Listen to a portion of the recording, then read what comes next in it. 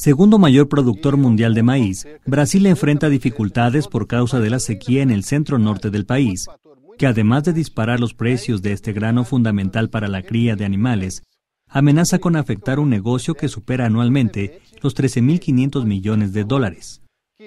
El aumento de los precios en el mercado interno, que ha llegado a crecer un 8%, provocó que el gobierno tuviera que permitir la entrada de tres variedades transgénicas procedentes de Estados Unidos.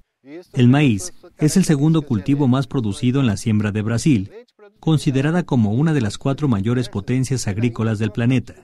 Con información de Heriberto Araujo, corresponsal en Brasil, Notimex.